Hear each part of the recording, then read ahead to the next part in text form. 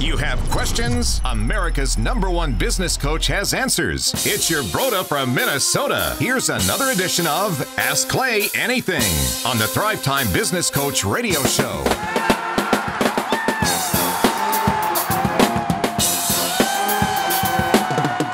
Thrive Nation, welcome back to another exciting edition of Ask Me Anything. And on today's show, we are joined with Tulsa's number one CPA in every way, a man who's always looking good, Mr. Paul Hood. Sir, how are you? I am great, Clay. I, I tell you, the holidays, uh, Thanksgiving came, ate too much, loved it, watched some football. Now ready to get back to business. I have a, a confession for you guys before we, we before we start talking about mystery shopping your competition. I uh, every every time there's a Thanksgiving, what we do is uh, we we have a meal. You know, the, my mom or mother-in-law or, or my wife they're they're making food. We'll have family over, and it doesn't matter. It does it does not matter uh, the variables surrounding the game. Um, but I'm a I'm a huge Patriots fan, and so I think you know what I'm going to mystery shop the other team. I'm going to watch the Cowboys or the Lions. You know, I'm going to watch them, see what's going on, do my research, and it doesn't matter. It it, it does it, it never it doesn't matter if, I, if I'm if I'm cold, if I'm outside, if I'm inside, if I've had a lot to eat, if I didn't have anything to eat. Like this year, I didn't really eat that much. I immediately fall asleep as soon as the Lions come on. I can't stand the Lions. I don't know what it is. It's like a it's like a, a cure for you know insomnia for me.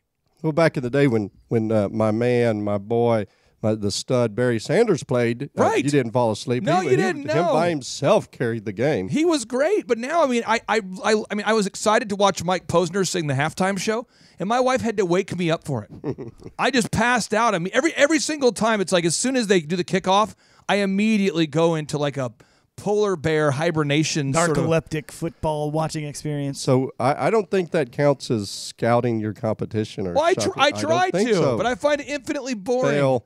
And I think somebody out there can relate to this, though. You're out there saying, okay, I need to mystery shop my competition, but I find it to be boring.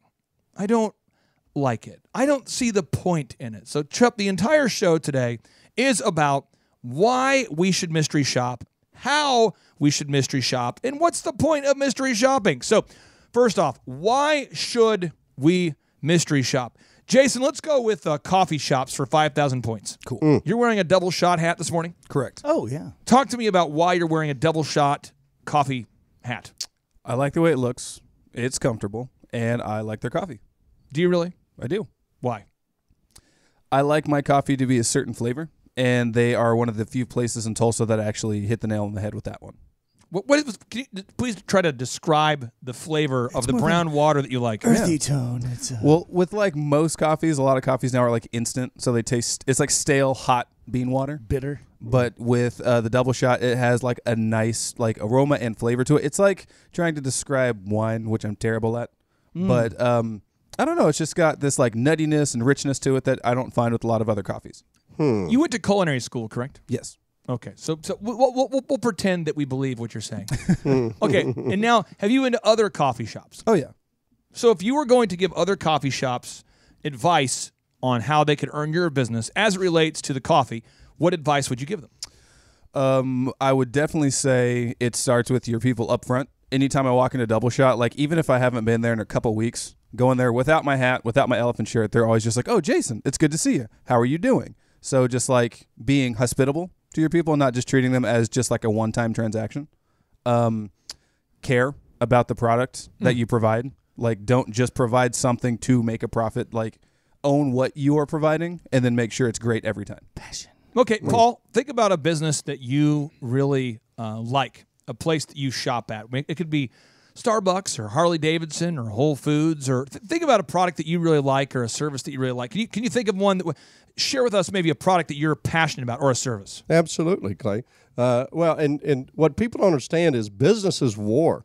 Business, if, if your competitor gets a dollar, that's a dollar you don't get. And you can't be passive and you can't be, oh, that's just not nice or whatever. You got to find out what's working and what's not working. And the quickest way to do it is to go shop your competition. Uh, for instance, yeah, I love it. You know, and we interviewed our guy, and he'll be here in December.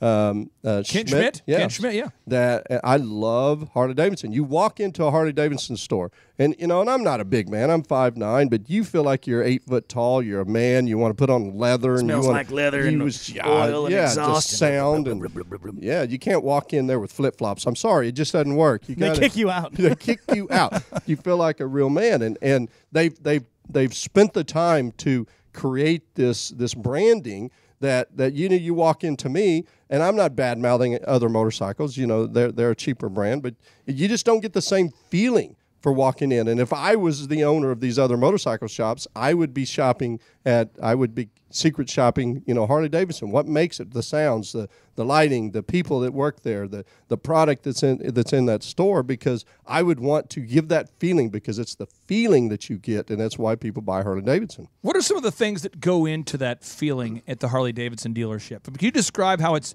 decorated, or how it smells, or how the employees are dressed, or walk, walk us through that for people who haven't who, have never been to a Harley Davidson uh, store, a dealership? Can you explain what that looks like? Yeah, yeah, Clay. Have you ever watched the movie Wild Hogs or any you know any of those kind of shows? It's it's these old guys and and they got leather on and and it's just you know during the day they're they're accountants or they're you know they're maybe radio show hosts that people don't see them. But you walk into a Harley store and you see leather and you see big shiny engines. The engines are bigger and wider than, I'm going to than cue the up the, bikes. I'm going to cue up the music that I think they play in Harley Davidson, Uh-oh. and you tell me if I'm correct or not. All right. here we go. The in- internal dialogue is. Uh, Sexy, absolutely. Welcome into Harley Davidson. Got you the within the right spot. leather chaps, everything on. Okay. You got them. Is that the right kind of ambiance, or am I, off? I think you're off a little bit. one of the other things they do at, at every Harley store I've been in is they have just so many motorcycles. They do, everywhere. There's so many motorcycles. You can see them all. You can sit on them, and you just. Then they talk about their financing options. That's right. Oh yeah. yeah. Well, you walk in and, it, and it's almost like you're you're also uh, not a bar, but you know they've got uh, uh, the the sales people, the ladies are walking around, and the guys have you know sleeveless shirts and Oh, man. yeah, and the, the ladies have on black and headbands, Yeah, that's it. bandanas, and it's just you feel t- there you go. That's a little closer. Oh yeah, Is this more of the. Harley vibe? I think so. Chip, does a Harley Davidson appeal to you? Yeah. It does. Yeah. Have you dr- have you driven one before? Yeah, I rode one over here one time. Remember? You know what I'm talking about. Just let me know. Is it a Harley? Yeah, the Harley. Come on, Clay. Clay, Clay, I tell you, they don't sell they don't sell pinion woods and kitty cats at Harley Davidson. Sorry. Mm, Shots fired. No. Okay. Okay. That's fine. Okay. But this is what I, this is what I'm talking about, though. You guys are clearly aware of the Harley Davidson ambiance. Experience. Absolutely. experience. Jason's clearly aware of the experience and ambiance of the coffee place. But most business owners have no idea about the other guys. They have no right. idea what they're None. competing with. It is bizarre. That's I have an action step for all the listeners out there, and that's the first thing you need to do is make a list of who the goats are, the greatest of all time, and you need to consider them your competition and find out what they're doing and one up them at every turn. So I'm going to walk you through this. I want to walk all the listeners through this. And it's so important you take and you write all down all these action steps. Okay. One, do exactly what Eric said. Write down who your top competitors are today. Write down their names. Well, there's no competitors. The only competition I have is in my it's in myself. Get out of here. That's ridiculous. Now let me explain the only time that that logic is true. Um, John Wooden is the famous basketball coach who won 10 NCAA championships while being the head coach of UC, uh, UCLA. 10 out of 12, and he never watched game film. And I'll explain to you why. Because the other team could only have five players on the court at any given time, and they couldn't adjust the length of the game or shorten it. So he knew the variables were somewhat limited. So his whole thing was I'm going to obsess about our team being the best that we can possibly be because knowing what the other guy is, what the other team's going to do, really won't impact his. This, this was his philosophy. It really won't impact our team's ability to play or not. So he would objectively look at his team and figure out what his team's strengths were, and he wanted to make those the best they could be. So he had years he won an NCAA championship where he had a very short lineup, but he decided to go ahead and build a team and a, a system around uh, being very fast, very fast fast break driven, Other years he had legendary centers like like uh, Bill Walton was on the team and he built around him. But the point is he knew what he had and because he played every week for years, for decades, he was coaching players every week for years. He pretty much knew that he had the top recruits in America because he knew who he wanted and he went after him. So he's going, okay, I know what I have. I know the guys you have. I've already scouted all the players before they were on your roster. So I really don't need to see what they can do now because I was trying to recruit them or not trying to recruit them. Thank you. But Mo, you can't do that with your business because in business there's so many variables. But Clay, I tell you what you the, the key here and the purpose of this is you've got to be flexible in your business. You've got to be you, you figure out you, what you want to accomplish. You set your goals. You execute your plan. You measure your results, which we talk on this show constantly. That the key is is what most people don't do in their personal life and their business life is measure the results. The reason you measure your results is is so you can change your path, so you can adjust. I'll give you a good, real quick story. Um, you know, I'm an o- Oklahoma State fan. I graduated from Oklahoma State. All three of my boys have too. And uh, we played West Virginia not too long ago, and West Virginia was picked to beat us. We haven't had a very good year. In the first half, they were up by 18 points, I believe. And Gundy, after the game, and then the, by the end of the game, we won. Well, the story was, what what did you change in the second half, Coach? And he said, basically, we scouted them, we put a game plan together, and in the first half, they completely West Virginia completely did the opposite of what they've done all year long. So the game plan didn't work, but because they had scouted them and they were had prepared, he knew that it wasn't working because they were doing something different. And so he was able to modify his plan, change to exactly what they were doing at halftime. And we came out and, and beat West Virginia. And so the, the key principle here is be flexible and, and to know in, in war and battle, in whether you're chasing that girl to try to get her to go out with you, if you're trying to create wealth, you're trying to build a business, you got to be flexible and you got to be uh, very, very intentional. And to be intentional to beat the next guy is you have to secretly shop them. When you secretly, when you do a mystery shop, what I want you to do now, now that we've written down our comp, our competitors, I want you to pay somebody to go buy something from them. Pay somebody to go buy something from them. I cannot even begin to count the number of weddings that I have paid for for a bride and groom to use my competition. I have literally told a couple, hey, we're looking for a mystery shopper, and uh, I would be honored if you would allow me to pay for you to book with my competition and then just give me feedback about what they did well and what we could do better.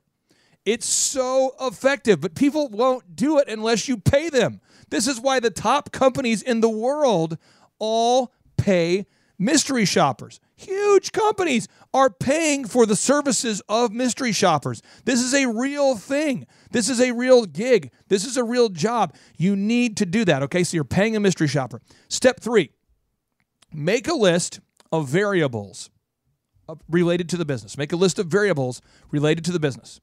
And objectively score yourself as either you are better than those guys or worse. Better than those guys or worse. And so you don't get stuck looking at a blank sheet of paper. As an example, your hours of operation. Is it more convenient for the customer or less? Your website, does it rank higher in Google or lower? Your phone number, is the phone answered on the first ring or not? Your service, are your prices more or less? Your products, are they more or are they less? Your atmosphere in your, in your lobby, is it better or is it worse? Because if you don't know, you can't grow, you can't improve, you can't fix it. As an example, Dr. Robert Zoellner and Associates, here, here are his hours for his optometry clinics. Monday through Friday, 8:30 in the morning to 7 p.m. Jason, have you ever had your glasses break at the time of your choosing? Can't say that I have. And when you need to get new glasses, when do you typically want to go get those glasses? As soon as possible. What whatever time's convenient for me. Do most people listening to this, to this show have a job? Yes. I would you, assume. think, do you think it's reasonable that most people would want to get their glasses repaired after work or before work? Is that is that a reasonable idea, Paul? Is that I, reasonable? that is absolutely a reasonable idea, Clay. then why is he the only optometrist? It's so crazy. 8:30 in the morning to 7 p.m. It's so crazy. I'll go in there, you know, 6 p.m. at night to get some glasses or 7. And it's amazing how many people you'll be sitting there in the lobby and I'll say, "Hey, do you come here often?" They go, "Well, it's the only place open." Mm. I mean, there's a lot of repeat What business. other choice do you have? there's a lot of other there's a lot of other great places and they do a great job but how many times does he get a customer simply because he's the only available option saturdays 8.30 a.m to 6 p.m Come on. how many of you guys have ever tried to schedule an appointment with your family doctor or an optometrist on the weekend and they tell you that they are closed chuck has this, has this ever happened to you Yeah, tons of times. Uh, you know, doctors' offices. Uh, some of them aren't even open on Fridays. I mean, half a come day. on, what's going on half here? a day on Yeah. Friday. Hey Clay, I got a great Yeah. story for you. I've I've uh, my glasses. I've been getting a little headache, so I wanted to get my glasses checked, and and I called a place in uh, Bartlesville, and they said, yeah, we can get you in uh, in six months. Mm. Okay, they're gonna get me in six months to check my eyes. You might not even have eyeballs. I in might six months. not. My goodness. Who knows? Uh, That's you know, with all the rush. are you being serious I'm very serious. Six so- months? Six months. uh, So I asked Z, I said, uh, you know, what on earth is that all about? And he said, come to our place. We'll get you in in six minutes. Yep. Boom. unbelievable Well, I- more I- convenient. I'm just pointing out this idea out there But I bet I bet you that you're waiting the six months though. Nope. Oh, okay. I was wrong. I that that no. I, to me, that's just why don't you just tell me I'm not taking any more patients. I don't patients. like you. I don't like you. I don't. The I next don't step. need any more business. The next step, my friends, we must mystery shop ourselves. oh. Mm-hmm. Exactly. So, the other day I went into the Elephant in the Room, Broken Arrow. We were serving hamburgers for the customers that day, Jason. And I went into the store and I was sitting there um, with a guy who had just arrived to get his haircut. He got there before me, so he grabbed a seat. I'm just standing next to him. And I said, Hey, uh, what's your name? He says, Such and such. I said, So do you come here very often? He goes, Oh, every month, man. I go, Well, what do you like about it? And he sits there and tells me. And I said, "Well, if you were in charge, what could you what could you do to improve?" And he just says, "Well, you know, um, I like the place a lot. I mean, I think hot chocolate would be cool." And what did we start doing this holiday season? Hot cocoa bar. There it is. With marshmallows. Yeah, Oh, marshmallows. marshmallows, candy canes. Oh, baby. But I mean, a customer brought up the idea. It doesn't necessarily cost us more money to have hot chocolate than than, than to serve our standard uh, coffee or Sprite or different beverage of choice. So we're just it's just you want to be aware of what customers think about your business. It is so important, which is why. Uh, Jason, you know this at the Elephant in the Room. We have mystery shoppers. Oh, yeah. And can you kind of explain the dynamic of a mystery shopper when they come in to get their haircut? Uh, they come in as if they're just a regular customer. They'd never tell us who they are. And Yeah. then um, Do you know who they are? at this point, no, honestly. Yes. I knew I knew one at one point, but I have not seen him since I discovered his identity. So they're always Weird. changing. Oh, weird. I just I, I will say this because I've had a ton of mystery shoppers throughout the past. You didn't kill that man, did you, Clay? No, we, we we bring in mystery shoppers who are good people, and uh, they do a great job. And the only the only grievance I've ever had with our team about this is sometimes our team will say, "Guys, we're having a mystery shopper coming in an hour, so let's make sure we really dial it in."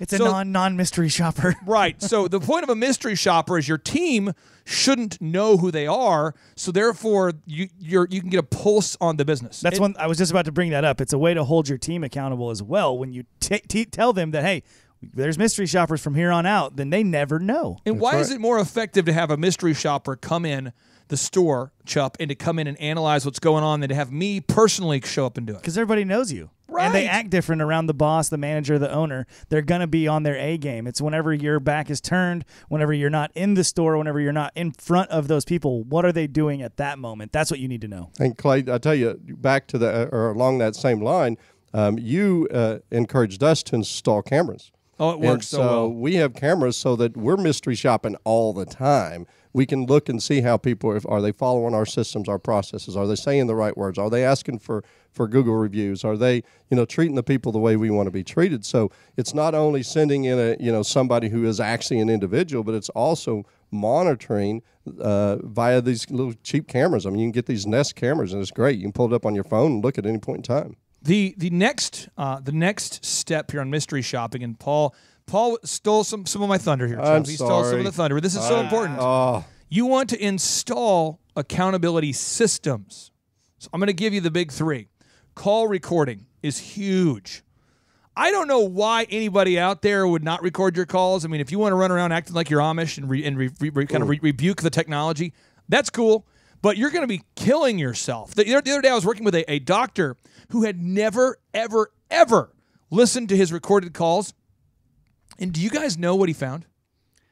I'm gonna, can I take a wild guess? Yes. They weren't uh, following scripts, answering phones, doing anything that is supposed to be Let done. me let me. I won't, I won't mention the name of the company, but I'll show it to you guys on the big screen so you guys can see the our little, our little secret. But let me just show you what happens here. This will blow your mind. It, it, it will.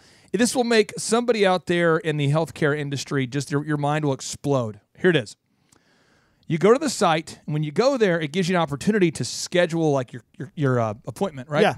So you fill out this this uh, this section of the website, and when you do, then nothing happens. No one no one calls you. so then you call. This is this. I'm not kidding. This is how the call goes. Boop boop boop boop boop. Hey, thank you for calling Doctor Such and Such's office. How can I help you? Yeah, I wanted to schedule an appointment, and the person on the phone says, "Well, what what you'll need to do is uh, go onto our website and fill out the form." Oh. And they go, "Well, I did. That's why I'm calling you." They said, "Oh, okay. Well, we're probably just booked out."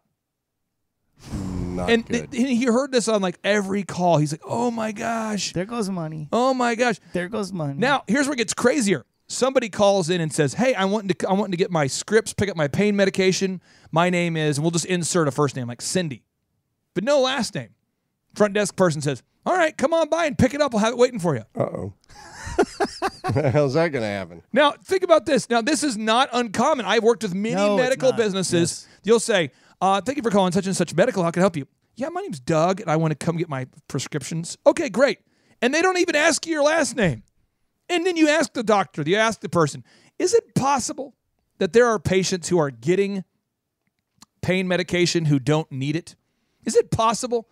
And then they'll say, you know, come to think about it, we should listen to our calls. And when they listen to their calls, they discover that this is happening. Chup, the jackassery. How, how can call recording fix the jackassery? Well, like you said, it's an accountability tool, and it's not only um, yes, there is an element to letting your team know, hey, we're recording these calls now, but you actually need to block time out in your week to sit down with the team and listen to the calls collectively with the script in your hands, uh, because nobody likes to be called out like that when they it's it's obvious that you're not on script or you're not following the system. So you got to record the calls, then you got to actually listen to those recorded calls.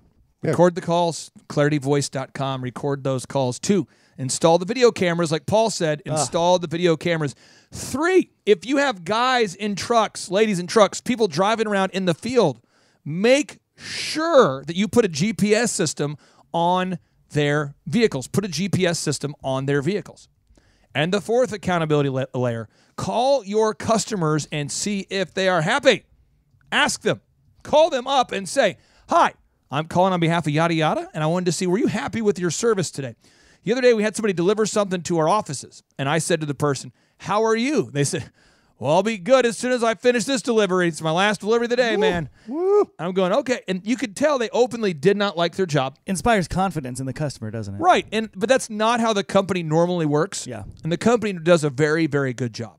But you could tell this was a new person who hadn't learned their culture yet or whatever. And again, I said, How are you? And they said, Well, I'd be doing a lot better as soon as I finish this, you know, delivery.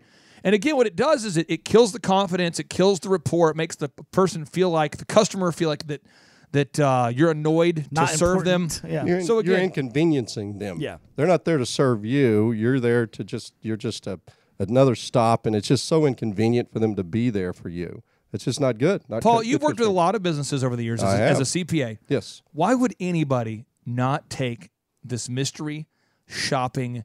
Uh, uh, not, why would someone not take this to heart? Why would somebody not implement the mystery shopping moves? Well, I think a lot of people don't do it is because they d- won't take the time to actually listen to the, the calls and watch the videos. And and it's it's kind of like again we we all love football or at least most of us do. And it's it's kind of like after the game you're not watching the game film to see who who did what they were supposed to do and who needs to have work and how can you improve. Because the reality is is most I say this about my own business. If I don't know it's broken I can't fix it, Clay.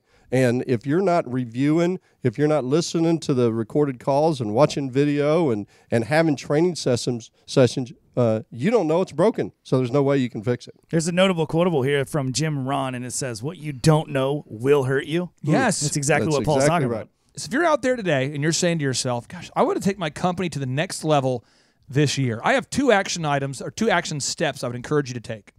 One is mystery shop your business. Mystery shop your own company. Do it. Mystery shop the competitors. Listen to this podcast over and over again. Implement mystery shopping.